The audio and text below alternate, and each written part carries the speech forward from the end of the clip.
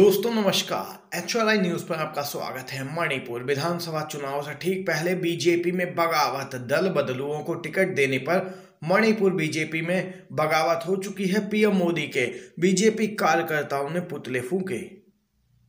मणिपुर में बीजेपी प्रत्याशियों की घोषणा होते ही बवाल हो गया। ढेरों इस्तीफे हुए। बीजेपी कार्यकर्ताओं ने पीएम मोदी और मणिपुर के मुख्यमंत्री ए एन बीरेन सिंह के पुतले जलाए और नारे लगाए।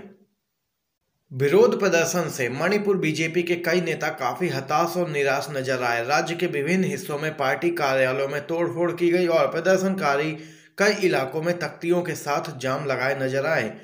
वहीं इम्फाल में बीजेपी मुख्यालय के आसपास सुरक्षा बढ़ा दी गई। देख सकते हैं, मणिपुर में बीजेपी के अंदर बगावत हो गई है।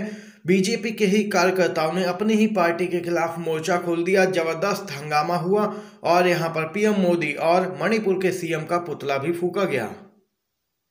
ये दोस्तों, इस समय की बिग ब्रेकिंग न्यूज़, बड़ी खबर सामने निकल के आ रही थी। अगर आपको वीडियो पसंद आया हो तो वीडियो को लाइक और शेयर ज़रूर ही कीजिएगा। आप सभी का वीडियो देखने के लिए धन्यवाद।